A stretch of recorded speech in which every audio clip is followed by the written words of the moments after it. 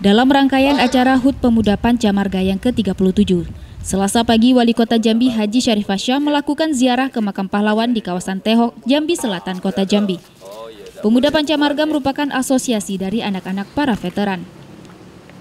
Fasya yang merupakan Ketua PPM Provinsi Jambi melaksanakan ziarah bersama Resimen Yuda Putra dan PPM Kota dan Provinsi Jambi.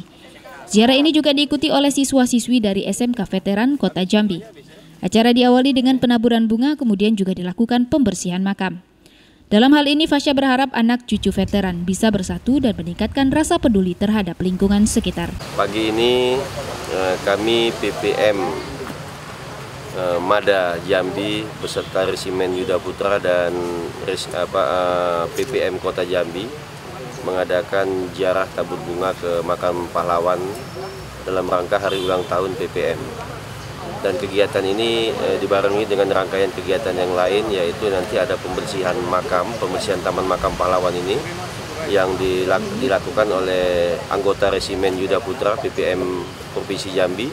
Satu juga e, ada pemotongan tumpeng dan bakti-bakti sosial lainnya yang akan dipusatkan yang akan dipusatkan di Taman Tugu Juang Sipin siang ini nanti.